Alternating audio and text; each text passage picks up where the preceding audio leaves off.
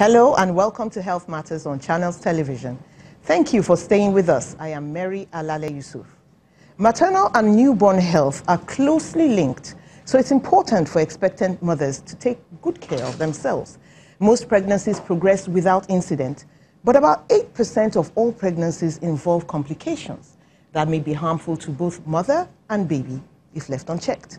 While some complications stem from health problems that existed before pregnancies, others occur unexpectedly and are unavoidable. One of these complications, preeclampsia, affects 10 million women around the world each year in developing countries. A woman is seven times as likely to develop preeclampsia as a, a, a woman in a developing nation is seven times as likely to develop uh, uh, preeclampsia as a woman in a developed nation, with incidences ranging from 4 to 18% of all deliveries, according to the Preeclampsia Foundation. In the studio with me is a consultant obstetrician and gynecologist with the Lagos University Teaching Hospital, Dr. Emmanuel Owe. You're welcome to the show. Thank you very much, Mary. Can you explain to us what is this preeclampsia? You know, patients say, don't mind all those doctors with their big names, but let's have it broken down so that we can understand. Okay, thank you for the question. Now, uh, preeclampsia um, is a condition that affects a pregnant woman. Okay, so meaning if you are not pregnant, you can have preeclampsia, and is a condition that is characterized by elevated blood pressure. We call high blood pressure in pregnancy, and the blood pressure we talk about is the systolic that is 140 and above, and the diastolic that is 90 and above. Any blood pressure in that that range, uh, second half of the pregnancy, okay, that is from 20 weeks. Okay. So uh, which every woman knows as every woman knows as uh, five months, but in in our in our parlance it's weeks, 20 weeks from there and above. If a woman has that blood pressure and the urine, when they do their urine test and it shows that there's protein in it, usually we consider two plus protein. Okay, so when that happens, yes, when that happens, the woman has preeclampsia. So what if the woman had high blood pressure before she got pregnant? Does it mean she's, she already has preeclampsia once she's pregnant? Okay, it doesn't mean that. A woman has high blood pressure pregnancy, a pregnancy, we consider uh, chronic hypertension in pregnancy. Okay. Now, that can be actually be managed till she gives birth and nothing happens, okay? However, preeclampsia can be superimposed in that, meaning she has just normal blood pressure. I mean, so they're different? Yes. The high blood pressure and the preeclampsia are two different things. Yeah, two different things in the way that in, maybe in terms of severity, but okay. it's like a continuum. All right. Before you get preeclampsia, you have to have high blood pressure. So preeclampsia combines two. Why high blood pressure just single? Because a woman can actually have high blood pressure in pregnancy all through without preeclampsia. Okay. Is it the protein that is the defining uh, feature in all of this? Yes. It's a protein that is added to the elevated blood pressure that makes it preeclampsia. Why does it happen?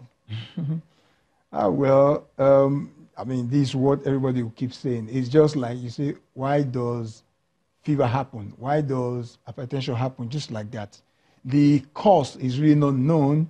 However, what we, what we found out that there are risk factors, okay? okay. The risk factors, and like I said before, once you're not, a woman is not pregnant, you can't have preeclampsia. You can have, I mean, elevated blood pressure. So preeclampsia is tied to pregnancy. Now, why does it happen? There are some um, explanations that have been put, theories that, you know, a lot of people have, you know, they done research in the past and theories were put forward that this, that, that. But right now, nobody can actually say this exactly what causes it, okay? But the commonest one is something that has to do with the vessel between the woman's womb and the baby, okay? okay. Now, again, you cannot really explain or you cannot really say you go there and alter that whatever is happening. It just happens. So it's one of those unavoidable things that doesn't happen to every woman. It doesn't happen to everyone, just that some people have risk factors for it. Okay? So what are these risk factors? Risk factors. To start with, a, a lady that gets pregnant when she's maybe less than 20 in the early ages, okay, in the teen, late teens, you know, when they get pregnant, they are risk. Or even early teens. Yes. no, I didn't mean early teens now. I mean late teens. Late teens, okay. But of course, once you're less than 20, okay. about 13, you're at risk. Okay. So just to say teenage pregnancy, you can use the word teenage pregnancy, okay? Then a woman that is getting pregnant the first time, maybe late 30s to 40s. That's a lot of women Yes, these two, days. yes, two, two spectra, you know, two, you know, age Really early and then and later late, on. Okay. Then a woman that's had maybe um, preeclampsia before or elevated blood pressure before in pregnancy, she's at risk. A woman that a family member has elevated blood pressure or preeclampsia is also at risk. Okay, Okay. so it can be hereditary. yes, hereditary in the way that we don't use the word hereditary, but we call it familial, meaning something just there's relationship. If a lady that is, that is just pregnant or about to get pregnant has a sister that's had it, she's at risk. It doesn't mean she will have it. Okay. So these are some because when you have this information, you know what to do, how to counsel them. A woman that is getting pregnant, of course, the first pregnancy is most of the time at risk. It doesn't mean you can't recall. Then again, a woman that is big, obese, getting pregnant. These are some of the risk factors that we found. That when somebody has it as an obstetrician, you have to pre- prepare their mind and find ways of reducing the risk in terms of prevention because there are some areas you can actually reduce the chance of happening, even though it's not 100% yet. So does that happen? That a woman might come and say, um, Doctor, my husband and I have been married for this number of months or whatever, and we're thinking of having a family. Okay. And then you go through her history and find some of these risk factors. Do you actually tell the woman that, okay, you're at risk for certain things? Is it one of the things that is done? You see, that is the idea that should be done. In fact, that's what we talk about. We talk about pre pre preconception counseling. Okay, ideally in the in the developed world, such such opportunities are given to women of childbearing age who are considering getting pregnant. So they come for such classes and they are put through to understand the risks they are they are I mean the risks they, they are facing or what could happen in the pregnancy. So ideally that's the right time to say that. You prepare their mind because patients that have such risk, you want to see them more frequently in antenatal. You want to let them know the importance of coming to antenatal because I've seen a lot of pregnant women, they will say, doctor, they just they just downplay antenatal. People give birth every day. Exactly. It's a normal thing. so they downplay antenatal. Some of them don't register on time. So such classes offer you the opportunity to inform them, prepare their mind. When you get pregnant, register early, and they need to comply with the antenatal visits. You know, so these are how you can nip this in the board. Okay, so let me just let's just get this straight. Should we scratch the idea of first antenatal visit should be at three months? Because growing up, that's what I always heard. You want to go for antenatals, it's too early. Wait till it's three months. And that's what everybody was telling, you know, their children, their friends. Should we Uh, should we abolish, should we scratch that? Okay, well, we shouldn't. Now, we shouldn't. You see, the, you know, the funny thing about preeclampsia, if you remember how we mentioned, we did mention that it starts second half of pregnancy, Okay. which we are talking about 20 weeks. That's number one. Number two, there are drug, the particular drug we can give to even prevent, we call it aspirin, okay, baby aspirin. We give to prevent women that are at risk of it. Okay. Now, not to say 100% of the women that take it will not have, but studies have shown that it helps to reduce. So these are started from th- the so-called uh, three months, Okay. three months, four months. You can start it and it's be effective. So meaning that even if a woman registers at that three months, it's not too late. However, what we need to do is a woman that we've seen maybe had it in a pregnancy, she needs to come in again for the next one. We don't want it to wait that long. Till that long. So that's when we counsel them. The reason why we don't want people to register so early is that sometimes people register at six weeks. There's really nothing you do. In fact, you can't even start drug until you do a scan to be sure that they're pregnant. But there are a few occasions we ask women to register early, either they are at risk of uh, to be pregnant or another problem. So three months is really not too late. However, if a woman has had uh, a woman has not had the preconception counseling because some people have blood pressure, elevated blood pressure, have an issue. Okay. So those people actually need to register before three months because you need to start taking care of that of that uh, high blood pressure before it gets too bad. Because for them, the preeclampsia can start very early. So that's where it comes in. All right. Does this uh, condition have symptoms? Yes, actually does. However, again, just like everybody say, in, in elevated blood pressure, high blood pressure does not cause symptoms very early. I said it's very bad. So that's the problem. If you are waiting for symptoms, it may be too late. It does have symptoms, but it's not. It's something that you see later, very late. Now, symptoms involves um, headache, and and this one we're talking about really severe preeclampsia because my pre, my preeclampsia may not even cause symptoms, but the common one, the headache. A woman will notice that she's having some maybe some flashes of light, a vision, visual disturbance. Others they vomit. Mm. Some they will just be restless. Okay, so these are some of the common symptoms. Then some they complain of pain just below their chest, the center part of their upper abdomen. They have some pain. Those are but what time they are having this is really severe. Some of them they may not have 24 hours before they have seizures. Okay, that bad. Yeah. So waiting for symptoms is really not it. In fact, a, once a woman has symptoms, it's really late. I should say. So, but these are the symptoms. Okay. Um, you said that it can be discovered at 20 weeks. That's when it starts, actually. Okay, that's when it starts. starts. That's when you can say this woman has preeclampsia. That's what I'm really saying. It's not that it can be discovered. At 20 weeks is when it should start, or from 20 weeks when you see such as preeclampsia. If you see this picture I painted, elevated blood pressure protein before 20 weeks, it's probably not preeclampsia. It's probably the person has chronic problem, kidney problem, or high blood pressure. But it's from 20 weeks you can say this woman has preeclampsia. So impulse starts 30 weeks. So it does not have to be 20 weeks, okay? But it's from there you can say this preeclampsia. That's really what I'm saying. But you have a level of protein below which you don't you feel there's no danger, right? Okay, yes, yes. But that's just one plus. Because when you check protein in women, it starts with what they call trace. A trace is neither here nor there. It's not significant. The next week may be nothing. Okay?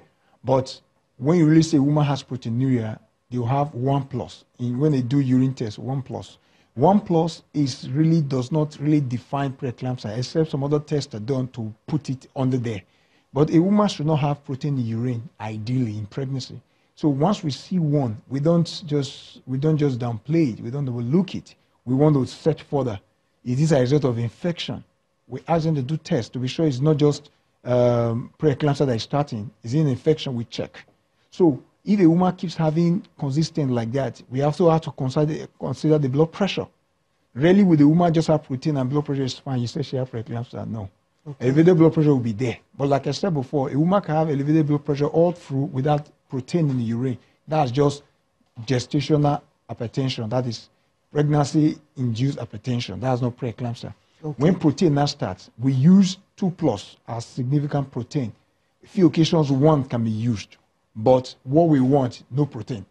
When the woman have protein, does not make her to say she has preeclampsia, but it makes us to start getting weary and you know very uh, I mean very watchful. So what's happening? So that's how it is. There's this other term I hear, you know, and it can be a bit confusing. Okay. There's preeclampsia, there's eclampsia. What's the difference? Okay, um, it's a continuum. Like I mentioned before, you can see pre-eclampsia. Pre means before. Before eclampsia. Good. Now, so eclampsia is the culprit. that is the deadliest, okay? So eclampsia is the tail end of it, so to speak. It's the severest, that means the most severe, I should say. It means a woman that has preeclampsia, I've mentioned what they have. Now, when seizures now occur, convulsion now adds to it, that's eclampsia. That so is, a pregnant woman actually starts convulsing. Yes, that's that's the one that is most deadly because some people die from the process. Okay, Others, they have brain, brain injury, bleeding to the brain. So that's a eclampsia. So that's what we're actually preventing. Because if preeclampsia is not well managed, it's going to get to that more often than not. So that is it. Eclampsia is the one that has, when you now have seizure, you know, imposed on the preeclampsia we are just talking about, high elevated blood pressure and protein in the urine. So it should actually be quite shocking that some women don't feel the need to have antenatal checks. So that's why this kind of program, we, we commend you people for bringing them up, bringing it up because they need to know actually that really there's no way you know you have preeclampsia if you're just at home. Like we said, does not have symptom early stage. So sometimes by the time you're having symptoms, the, the woman is, is, is almost gone. So coming for antenatal, they, it's picked very, very early, okay? And what, like I always boast of, our patient where we were, patients have come for antenatal, those that follow what we say. None of them come with this. In fact, preeclampsia is starting, we nip it in the bud before it gets so bad, okay? Because delivering is the definitive treatment. We watch them. Our patients don't have eclampsia. They don't. We won't get there, except the default. But those that follow our management, they don't have. So once they come for management, they are fine. Yes. On that note, let's take a, uh, a short break. We'll take a short break and come back very soon. Please stay with us. Welcome back. Call 0808 054 2233 if you have questions to ask about preeclampsia. That's 0808 054 2233. You can also tweet at CTV underscore Mary A. And someone has already tweeted at Charles Orenzo is asking if there's low blood pressure in pregnancy, does that qualify as preeclampsia?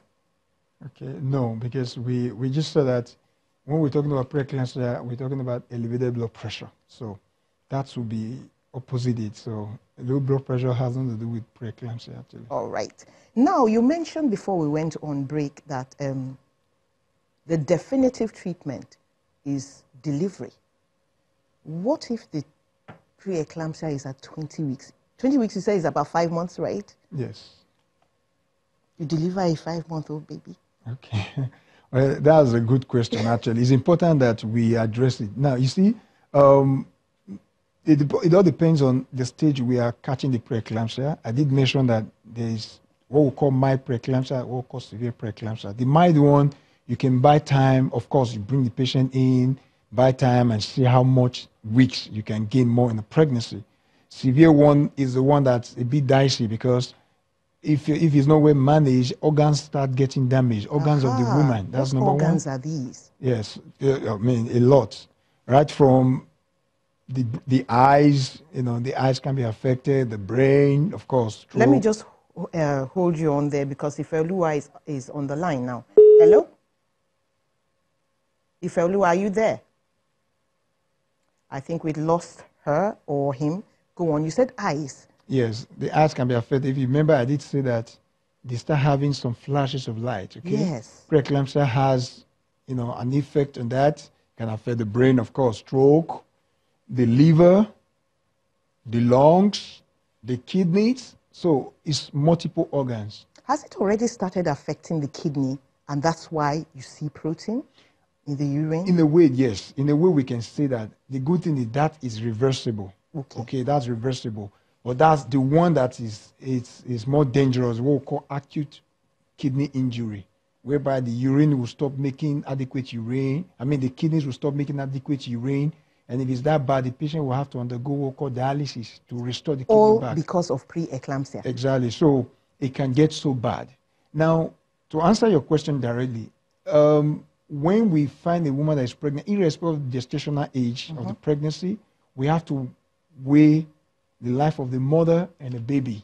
We have to consider which one will be more important at this stage because if the pregnancy is very far from the chance, a time where the, the baby is, has a chance of survival if it's, if it's brought out, the baby is brought out. If the pregnancy is very far from there and the woman's condition is severe, there will be, you'll be left with no option that to either terminate the pregnancy in order to save her life. Okay? That does happen sometimes. exactly, yes. Tell me, does this happen in developed countries where they have to ask themselves, do we keep, Yes. do we take out the baby so that the mother can leave? Even now in the 21st century? It does happen because preeclampsia has nothing to do with whether you're black or white. Just that it's more, it could be more common here, but it does happen. And you need the woman to be alive to get pregnant again. So, in, in bid to try and salvage the pregnancy, you may compromise the woman's health. So, it comes to that. Of course, with counseling, you don't just you tell the woman. I believe most women will say, "Okay, doctor, I need my life back. Let's go ahead with this." But you need to let them know. But that's the definitive treatment. When the baby the pregnancy is discontinued, this condition reverses, resolves actually. Okay, so definitive treatment is delivering of the baby, whether nine months before, you know. However, efforts, all efforts are always made to prolong the pregnancy. Also keeping, you know, in mind that you don't want to affect the mother negatively. So we wait, but you bring. the Bayo is in. calling from Australia. Hello, Bayo. Are you there? Yeah, I'm here. Please ask your question. Yeah, um, my question is uh, regarding the topic uh, of discussion. Go ahead. Yeah, um, actually, yeah, actually, my my wife uh, had a preeclampsia for our second baby. Okay. So, from what uh, the doctor is saying, Can you speak up a bit? uh, it could be. Hello, can you hear me? yes. Go ahead. Yeah. So, from what the doctor is saying, this is our second baby, and from the our first baby, there was no issue. The everything went well, but the second one, she had a preeclampsia.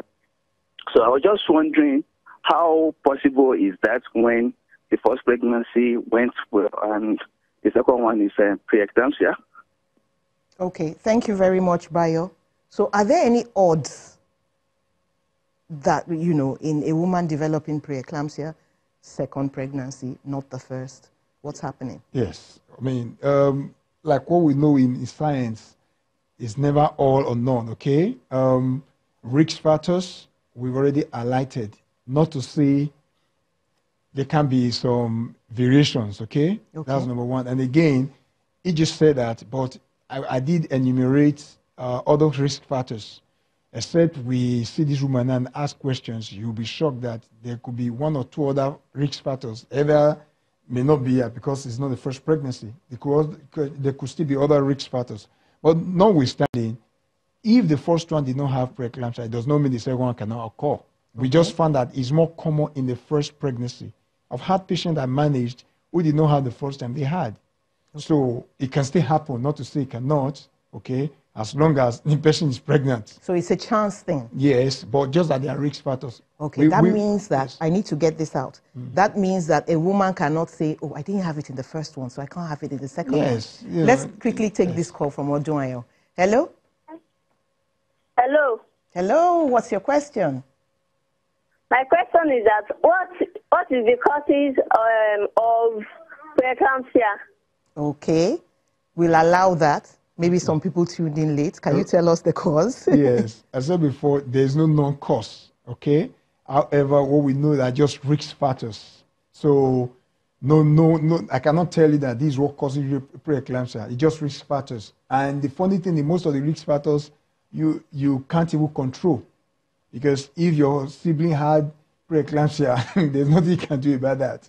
If you are getting pregnant for the first time, there's nothing you can do about that. However, you can do your best to get pregnant when you're in your 20s, not too Aha. early. They're not waiting for when you're in your 40s. Not Okay, you could do that. Then, of course, uh, you could work on your weight. Like we said, people that are overweight. I mean, I've seen slim people that had it, so I'm not saying slim people don't have it, but it's a risk factor. So you could also work on that. Basically, those are some of the risk factors that you can modify, but others you can't. And again, if a woman has elevated blood pressure before getting pregnant, it should be well controlled.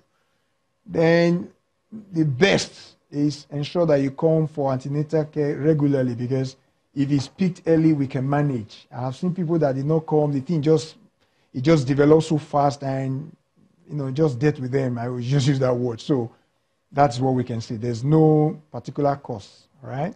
So, if a woman, um, if a baby survives the condition, but maybe it was really bad mm.